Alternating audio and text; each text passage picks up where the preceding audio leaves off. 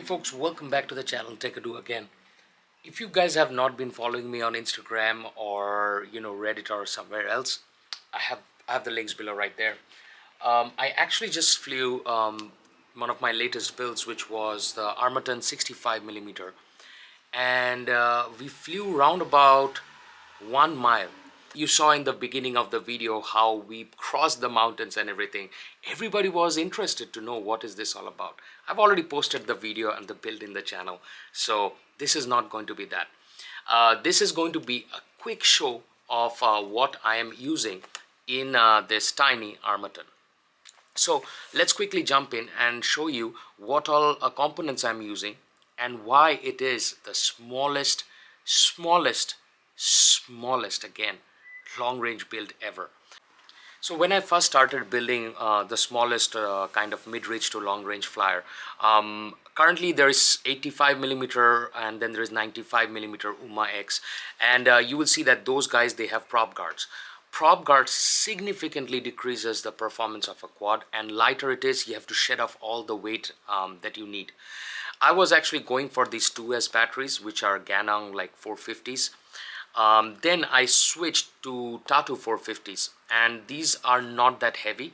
And um, if you are making something long range I think you should keep uh, roundabout like um, 3S 4S sometimes becomes too crazy on quads like this. Um, now let's open it up and show you components okay? So let's jump in. Now um, you will see that I'm running a weird kind of um, 16 by 16 uh, kind of um, you know like a mount um, and uh, this is going to be a Flywoo Goku. Uh, so this is a Flywoo Goku stack that has a 450 milliwatt uh, VTX so this all-in-one stack is 450 milliwatt. Now folks I switched from iFlight because my iFlight crapped out and probably my sixth or seventh iFlight uh, kind of FC and um, you know like um, ESCs and everything. For some weird reason some we I do not have a good luck with iFlight products. So I've totally taken down all of my products that have iFlight built in. But Flywoo Goku kudos to you folks. You guys made an amazing FC amazing um, you know ESC and the VTX combo. Now the fun part about this is that this has tiny lights built in. Probably one of the most beautiful um, you know like FCs out there. Look how beautifully it glows and everything. So it has got built-in lights everywhere and uh, I do have two small extra lights out here. Okay antenna consideration. In antenna consideration um, I'm using this uh, iFlight Sima um, you know like antenna. Now usually or ideally your antenna should be like this. It should go all the way to the top but I was running it through the back. Maybe you can get more range if you can um, you know keep it uh, in the front or somewhere. But I was actually using this at the back um, and uh, in our transmitter obviously uh, we have we are running a TBS crossfire. Now you can run the crossfire uh, by coming making it come out from the back. Uh, I'll show you one stuff folks. So TBS actually now offers this micro antenna. Um, uh, previously you know like this was like regular antennas. Now they offer this micro antennas. This is very small so the length um, you will see that it's only half like uh, it's a very small length and it actually fits perfectly at the back.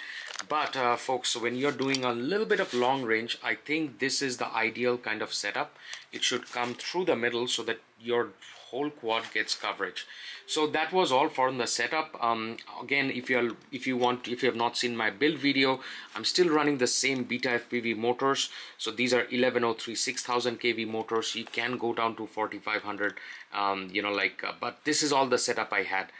But props folks. Um, I was using HQ props but this Evan this is um, an I think uh, Emax Avan uh, 2.5 inch props um, with amazing thickness so look how thick they are and when you're flying the drone it actually touches um, you know the air more uh, so that is the reason I was having very good flight experience uh, with the Armaton. Actually, this is one of my best, uh, most favorite kind of quads uh, that I fly because first of all, it's sub 250 and I do not fall in trouble.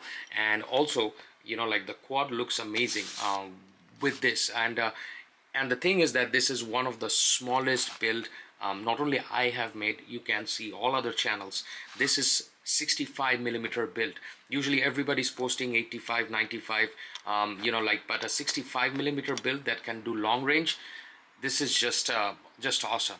Now you can use two 18 650s on this but then again you have to remember one thing. The smaller it gets the lighter your build should be. You can scrape off some weight by using some you know like uh, um, like flight controllers that are toothpick and you can use a Flywoo Goku on top of it. But you know what? I thought I would actually run Flywoo Goku 16 by 16 on this one